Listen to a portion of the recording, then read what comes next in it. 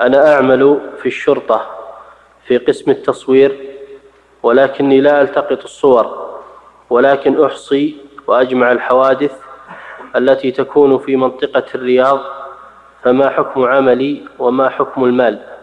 التصوير إذا كان للضرورة لا بأس. لا حرام مع ضرورة. إذا كان للضرورة لضبط الأمن أو لمعرفة الجاني هذا يباح للضرورة ما في بأس. نعم.